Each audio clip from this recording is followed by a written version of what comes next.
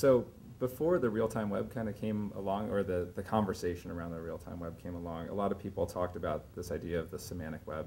Mhm. The Web 3.0 was more about, you know, tailoring your web experience to you. And it seems like the real-time web kind of steamrolled that conversation for the, for the time being, for the short term anyway. Are there any trends that you see out there that we're not really paying attention to because everyone is so excited about the, the real-time web? Or is, is this really where the focus is and where we're headed for right now? Well, I think some things are happening, but we don't know what's going to end up happening with those, right? I think you mentioned semantic web, and you know, I don't talk about Web 3.0 or Web 2010 or whatever somebody's calling it these days. The fact is, we're all using the web as it exists today. We might be using some tools that are less visible. We might be using things that we've been using for five years and keep doing that. What we are seeing is a unification of social data.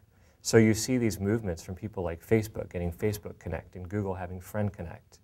And with Facebook Connect, the ideal situation would be that I have one single sign-on that works on just about every website out there. And I would love it if companies would start to pull in my data that I've taken time to put into Facebook and know what to show me somewhere else. For instance, if I'm on ESPN.com, I don't want to see any ads for singles, right? I'm married. It was quick. I just put a checkbox into Facebook, said I was married. So that's it, done, right? I don't want to have to be recruited for any of these single dating ads, right? Unless I have a personal problem and I've checked that box. Right, exactly. So I want people to start leveraging the social data that I put in somewhere else and making it affect my activity and what I view everywhere else. The real-time web seems very much focused on text updates, you know, this idea of the statusphere and that type of thing. How do you think the idea of images, video, and different types of content kind of play into, into where we're going in this evolution? Well, I think that images and video aren't going away, right? You look at the statusphere, and yes, it has a lot of buzz right now because Twitter is just taking off with some of the celebrities that are on there, and, and it's very easy, right? One of the things that's real beneficial about Twitter is it is only 140 characters. It limits exactly what it can do, and those limitations define the service. Something like video, it takes more effort. It takes more effort to produce, it takes more effort to download, and it takes more effort to consume. But it is a richer experience. That's why they call it rich media. That you take a look at uh, something like the Iran election, you know, the things that really got sent around and virally are images and video. You know, text goes out on the statusphere and it's done. I mean, we're not going to poke at Twitter too much, but their search is broken. And so you can't even search and find those updates that happened a week ago or two weeks ago or a month ago.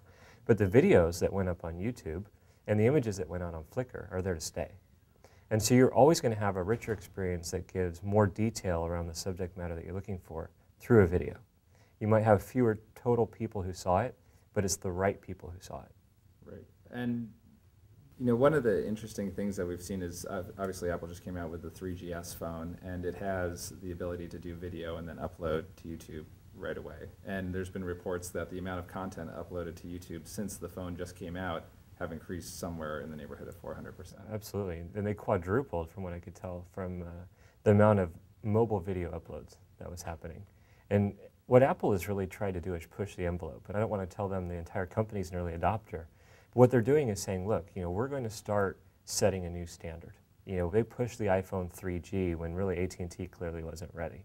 And AT&T has had to work to try and catch up. You go back uh, several years ago, they were pushing USB on the first iMac in 1998 when nobody really knew what USB was. They were getting rid of the floppy disk, and it was clear that's what needed to happen. They're trying to push people toward the next standards. And other companies tend to be less full of innovation and more reticent to make those kinds of moves.